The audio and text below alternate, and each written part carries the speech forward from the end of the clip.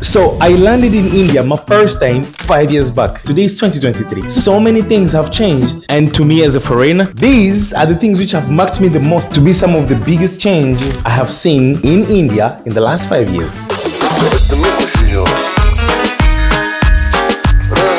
The very first thing which have changed, the usage of UPI.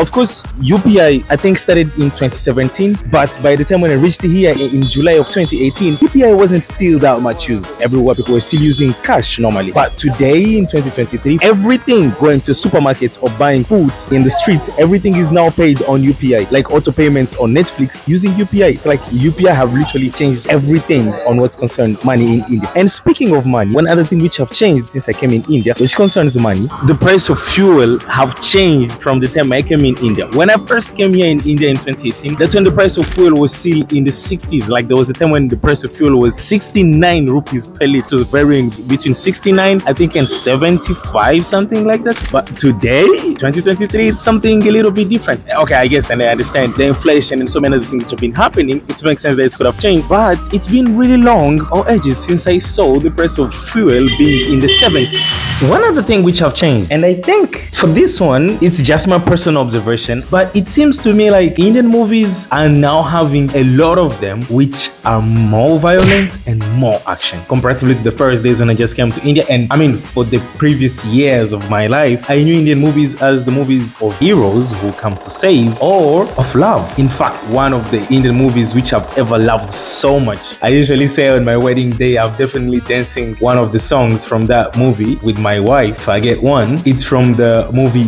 Barfi. The music Ash I, I, I love that song. To me, I observed India coming from movies which are more romantic, like Stars in Heaven and so many other cool movies which can be funny and other stuff, to movies which are violent and which the character is really that action guy, like KGF, uh, Pushpa. I, I really, I, I, that, that's a very huge shift. And one other thing is that to me, India is becoming more and more global. Like India is becoming too international. Everything in India is now made in such a way that it can be exported or used outside of India. For example, UPI is now used even in other countries outside of India. Or India collaborating with so many other countries outside. Or the Prime Minister visiting so many other countries outside. Or the G20. There are so many things which to me now, I don't know if it's because I'm in India that I'm noticing India participating on things outside of India now. But it seems like in these few years, India to me have been participating so much in things outside and getting much more global. These are some of the few changes which I noticed in these few years in which I've been in India. Tell me also what are the changes which you noticed also in India. Thanks so much for being here. Catch you next time.